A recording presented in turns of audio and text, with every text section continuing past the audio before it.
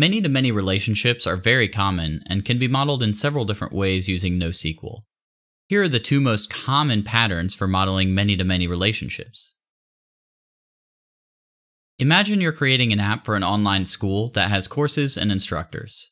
There's a many to many relationship between instructors and courses, but it's bounded because an instructor can only teach so many courses and a course can only have so many instructors.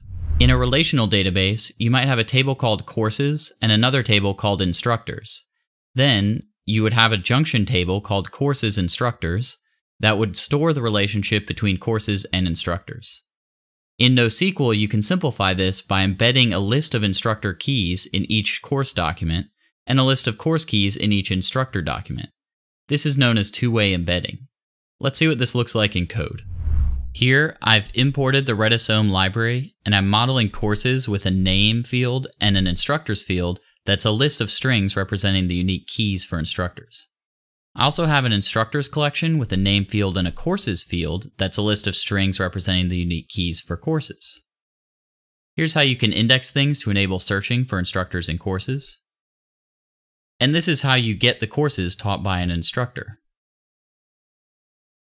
Lastly, Here's how you get the instructors for a course.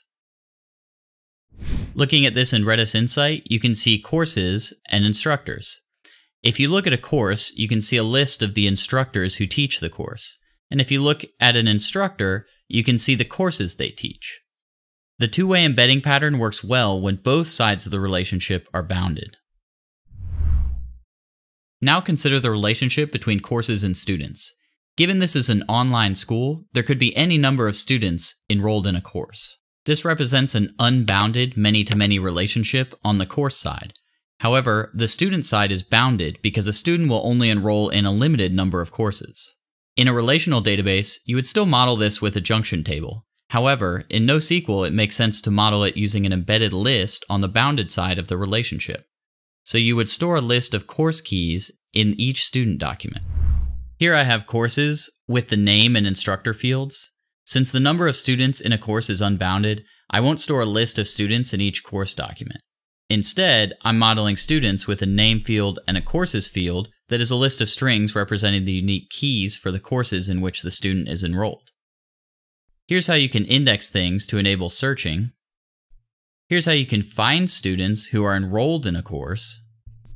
And here's how you find the courses that a specific student is enrolled in.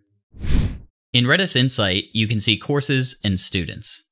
Since we chose not to embed students in courses, you won't see it embedded in each course document here. However, if you look at a student, you will be able to see the courses they're enrolled in.